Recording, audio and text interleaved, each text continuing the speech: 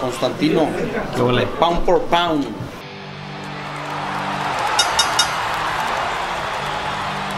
Okay, we're here with Eddie Hearn. Eddie, obviously, we just launched the series in Mexico, four-part series. This is the first fight. Cesar Rey Martinez. We would love to talk about the card. It's a great card. I mean, you know, when I looked at the matchmaking, you, know, you look at fights that Chris, Christian Duran's in, Pacheco fighting a 7 and 0, Duran's fighting a guy who's like 15 and 0, 15 and 1. This is how they do things here. This is why we love it so much. You've got a brilliant co-main event, Matelon against Argumedo, and a brilliant main event. You know, Joel Cordova, who had a couple of losses early in his career, has come back really strong. And Julio Cesar Martinez, for me, I feel like this is the best, best uh, young prospect in Mexico. I say prospect, he's already a world champion. But this guy has so much more to achieve. You know, he's talking about fights with Estrada and, you know, that whole division from light flyweight to super flyweight. There are so many great fights to be made, but you know, he's got to come through on Saturday. He hasn't fought for a long time. So there's a lot of pressure on him. Why do you think he's so special and why do you love him so much? Because I love people that have flaws, you know, like, and I'm not even talking about physically, I'm talking about emotionally, mentally. This guy comes from a very, very tough area in Mexico City. All of a sudden, he got championships, he got money, you know, and I think he's made mistakes. And now he's realised why he wants it so bad. And I love that. You know, I love people who have so much ability, they don't realise how much ability they've got. Right. Like I've seen him fight before. I just thought I don't, I'm, not, I'm not sure he can be beaten. And this is a tough fight because Cordova, people are looking at it. Was he like 14 and four?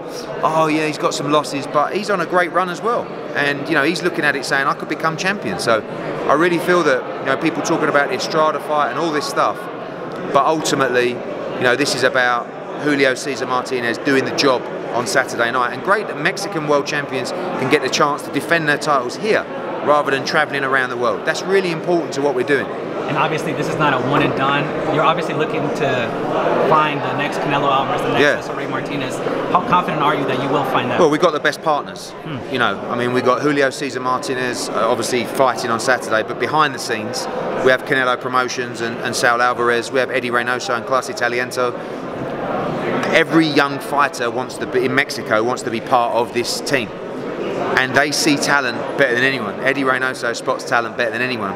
And you know what it was? It was like when Mauricio Lara came over and beat Josh Warrington. I said to Eddy Reynoso, wow, this kid, you know, I said, Eddie, we have so many fighters like that, so many fighters that don't get the opportunity. So this is why we're doing this, to give young fighters the opportunity to follow their dreams in Mexico, to become the next Canelo Alvarez. You know, and um, it's really important for Mexican boxing, and this is just the start on Saturday. And obviously, you guys, DAZN just went global. Yeah. And you guys all obviously launched DAZN in Mexico. Yes. 45 pesos, which is really Yeah, yeah. affordable. Talk about that. Yeah, it's an amazing product globally. I mean, it's for the first time we have a platform where all of our events around the world will be broadcast on any device, you know, your smart TV in your living room, to your mobile phone, to any country in the world.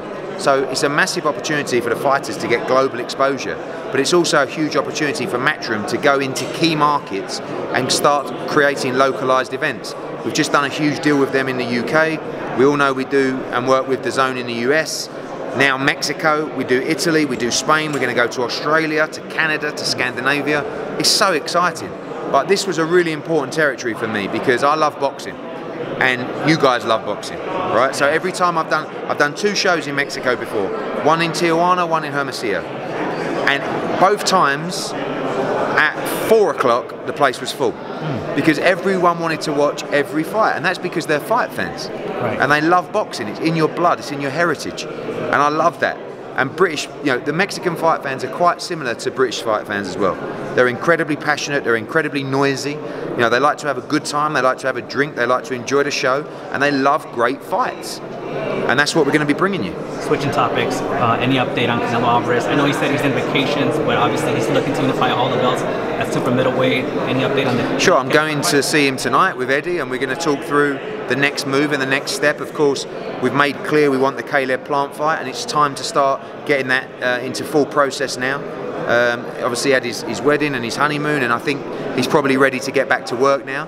And you know, we have some um, things to discuss tonight, some options, some dates, some ideas, and ultimately, Sal and Eddie will tell me what to do. You know, they're the bosses, and um, we'll go through the numbers tonight and start making plans. Earlier this week, a reporter asked Eddie about the Canelo Caleb Plant fight. Mm. They asked him what needs to happen in order for it to happen. Would you guys sign a two-fight deal with PBC? And he's like, we're not tying ourselves to anybody. Yeah. We're extremely happy with Eddie Hearn, Yeah. the work he's done. Uh, Canelo's popularity has even grown so much the past six months. Mm. What do you got to say about that? it's flattering. I mean, look, we're not. I, I just believe that if you have a great relationship with people, if you're honest, you don't need to tie them down in long-term deals. So I put my trust in them. I said to them, "Let me show you what I can do for you." Right, and we did it for the Callum Smith fight, for Yildirim, and then for Billy Joe Saunders. I think everyone's happy. So there's no need for me to start saying to Sal right now, you must sign a three, five fight deal, six fight, seven fight. He's told me I want you to work for us and keep this journey going together. Right. And that's I take that extremely seriously, and it's an honour. So you know I would love to be involved with this team for a long time. When we boxed Callum Smith, when we boxed Billy Joe Saunders, I represented both guys. I want to pick him up and celebrate with Eddie and with, with Saul, and that comes through the Caleb Plant fight because for me to be involved and to see Saul become undisputed champion is even selfishly for me that is an incredible honour. So I really want to be involved in that process. Saul's told me you're involved in this fight as well, and I'm sure we'll work together. I believe I'll work with Saul uh, Alvarez for the rest of his career. I really do. But I don't need no, you know, now you've got to do this, now you've got to do that. We have a great relationship. We get, we do great business together. We're all incredibly honest with each other. They're in charge. I work for them, and I will deliver for them every time. Right, and when I meant when I said that was like, would you tie a, a co-promotion or sign two-fight deal with PBC? And Well, like, what, this, you know, at, at the end of the day, uh, this fight is about Caleb Plant. So what we have to do is we have to look at the best opportunities for Saul, and you know the PBC have to look at the best opportunities for Caleb. We have to look at the money on offer from DAZN. We have to look at the money on offer from Fox, and we have to make the right decision that everybody's happy with. But it's not about you know the great thing about um, Saul being a free network agent is that he has the ability to fight whoever he wants, wherever he wants.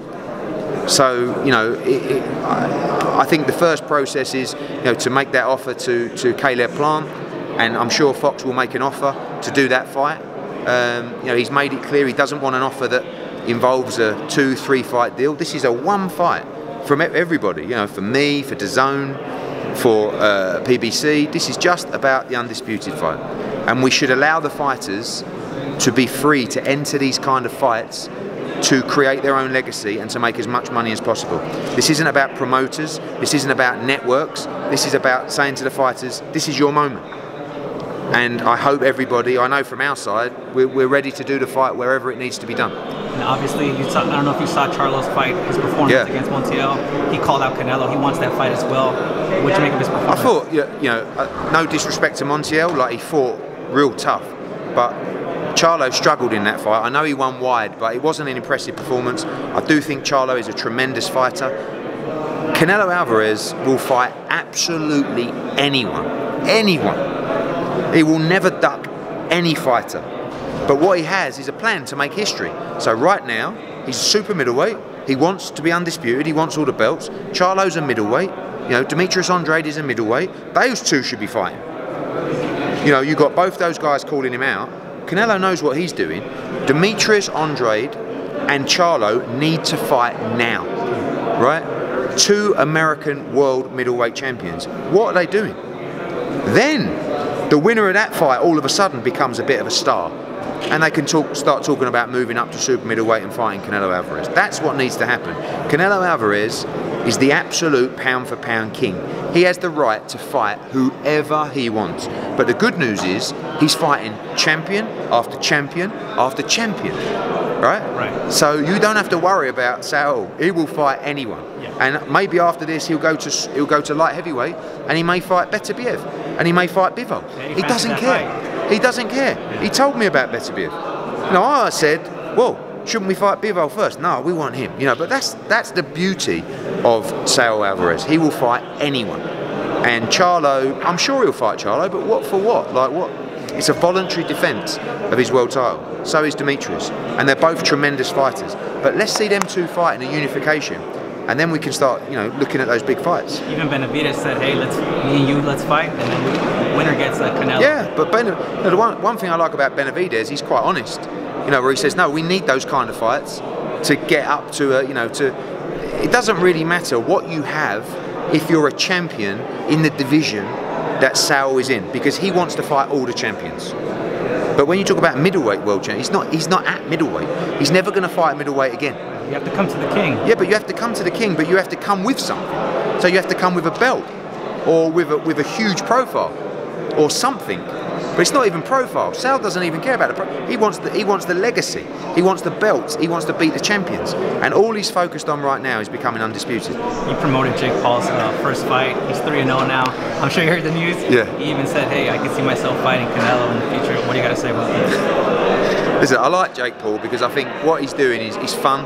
You know, he's making noise. And look, I, I, I was very vocal that the Mayweather Logan Paul fight was a joke. It was a disaster, right?